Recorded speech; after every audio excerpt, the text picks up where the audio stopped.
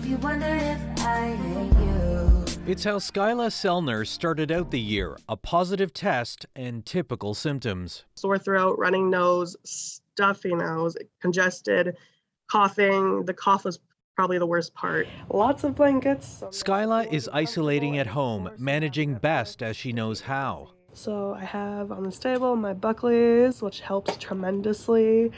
Tea for my sore throat, and of course, lots of water to keep me hydrated and to get rid of that virus. She still feels miserable and wants to know what else she can do. Would cold medications, over the counter drugs, help with the symptoms at all? Something like this, for example, an intranasal cortisone, can be very useful for decreasing nasal congestion. This pharmacist recommends common cold and flu medication, including ibuprofen and acetaminophen, which he says can be alternated every four hours to bring down fever. Some doctors prescribe puffers for people with a history of breathing problems. None of these medications actually resolve the COVID infection, but they have strong evidence for relieving symptoms.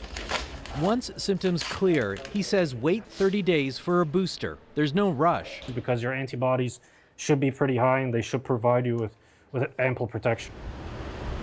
Hospitals are worried about being overwhelmed by mild COVID patients who may infect others. For the vast majority of people, you can manage this at home. It's unpleasant and it's uncomfortable, and certainly we appreciate that. But she stresses if your breathing gets bad, don't hesitate to seek care. Really, the thing that should drive you to the emergency department with your COVID positive diagnosis is severe chest pain and severe shortness of breath. To monitor blood and oxygen levels, some hospitals are sending high risk patients home with pulse oximeters, which you can also buy, though people with darker skin tones may not always get an accurate result. Many emergency departments are also moving to virtual visits to keep an eye on patients while keeping them isolating at home. Vik Adhopia, CBC News, Toronto.